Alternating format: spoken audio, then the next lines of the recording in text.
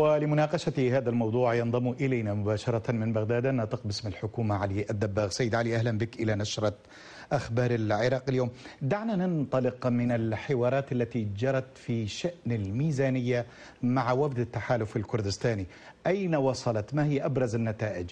هل سيصوت التحالف برأيك لهذه الميزانية في مجلس النواب؟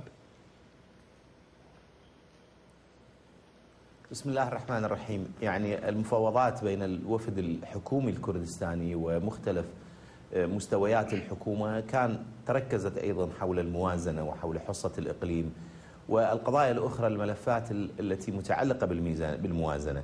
يعني أول شيء نجح المتفاوضون بأن يلتزم إقليم كردستان بتصدير 250 ألف برميل العام القادم وهذا التزام طبعا التزام مالي. من الإقليم تجاه الموازنة وتجاه المركز. حتى يمكن للعراق أن يصدر مليونين و900 ألف برميل يوميا حتى يحصل على المداخيل المطلوبة. الشيء الثاني تدقيق وجهاز ديوان الرقابة المالية أن يدخل إلى كردستان ويدقق ال ال الأرقام السابقة للتصدير والإنتاج وأيضا المنافذ الحدودية. أن أيضا يكون عليها تدقيق لأن المنافذ الحدودية أموالها ترجع إلى المحافظات.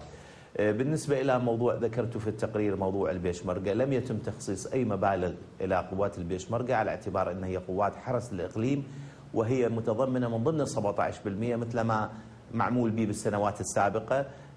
وهذا الأمر نوقش في مجلس الوزراء مع الوزراء الكرد وتم الاتفاق والتصويت على الموازنة بشكلها النهائي المقبول. نعم. 17% إلى إقليم كردستان لتشكل 14.3 بالعشرة تريليون من مجمل الموازنة بعد خفض النفقات السيادية والحاكمة منها نعم. طيب سيد علي يعني وباختصار جدا هل يرقى هذا الاختلاف أو الخلاف حول تمويل البيشمركة إلى حد أن التحالف الكردستاني لا يمنح ثقته بهذه الميزانية؟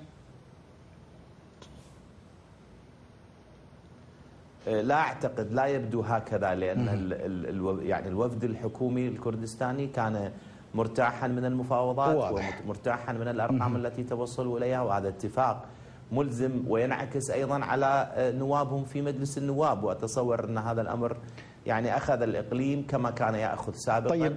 وتم التراضي. حتى النفقات السيادية تم النقاش حولها لأنها ازدادت هذه السنة. بس هي ازدادت لكل العراق ومن ضمنها الإقليم أيضا. نعم. طيب ماذا عن موقف كتلة الأحرار؟ هم يعتقدون أنهم يعني ربما لا يصوتوا لصالح هذه الميزانية للأسباب التي تتعلق بتوزيع فائض الميزانية السابقة على المواطنين كما يرون.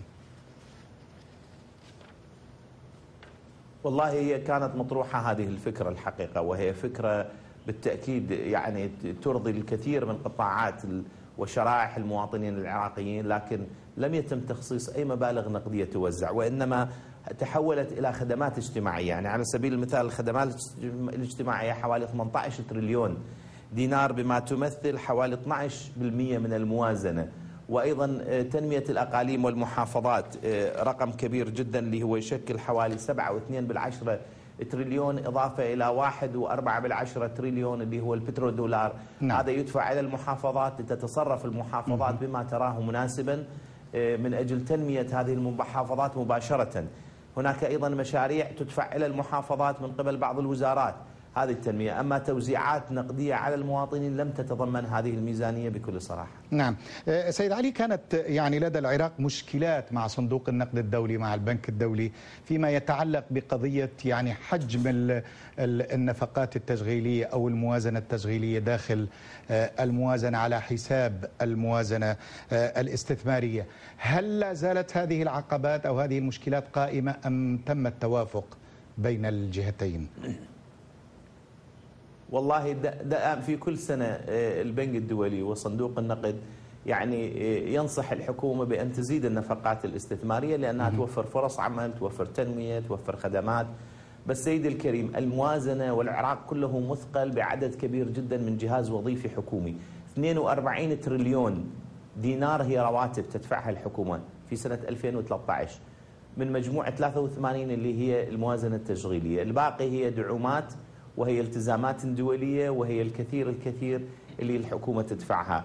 آه، آه، يعني يعني هذه الموازنة عندما 30% من عندها تكون فقط رواتب تخيل إن هذا رقم كبير جدا. ولحد الآن لا تستطيع الحكومة أن تفك يعني هذا القيد إلا أن تتجه للقطاع الخاص ليمتص جزء من من من القطاع الحكومي ومن الموظفين الحكوميين الذين يزدادون عن الحاجة الفعلية وإنما بسبب ظروف البطالة، ظروف عدم وجود فرص عمل، الحكومة استحدثت الكثير من الفرص من أجل امتصاص هذه البطالة وهي حقيقة بطالة مقنعة نعم. لأن ترى في الدوائر عدد الموظفين أكثر بكثير من الحاجة وهذا يثقل الموازنة نعم. هذا لا فكاك منه لا تستطيع الحكومة أن تفعل شيء إلا عبر معالجات طويلة الأجل نعم. طيب سيد علي وباختصار لو سمحت يعني فائض الميزانية السابقة يعني التشغيلية بالتأكيد ذهبت إلى آه، مصاريف الموظفين والدولة وما إلى ذلك الفائض من أين أتى؟ من يعني ارتفاع أسعار النفط أم أن آه، آه، ميزانية الاستثمار تعثرت؟ لا الحقيقة شوف إحنا كل سنة الحقيقة يعني الوزارات والمحافظات لا تنفق كل ميزانيتها. لذلك هناك مبالغ مدورة.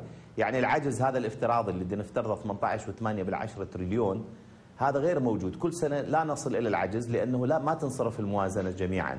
وبالتالي هناك مبالغ فائضة وزائدة لم تستطع الوزارات والمحافظات صرفها وتدور وبالتالي لا ينشأ عجز. هذا هو سنويا هذا يعني هذه هذه الظاهرة موجودة. نتمنى العام القادم لأن نتمنى أيضا أن تقرر الموازنة حتى يمكن للوزارات أن تصرف موازناتها دون أن يبقى شيء وبالتالي تستطيع الوزارات أن تقدم خدمات أفضل للمواطنين. من بغداد النطق باسم الحكومة العراقية علي الدباغ. شكرا جزيلا لك. شكرا.